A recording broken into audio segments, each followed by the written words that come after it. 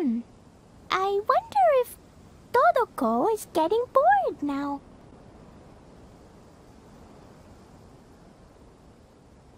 Oh, Klee, I'm afraid it can't be helped.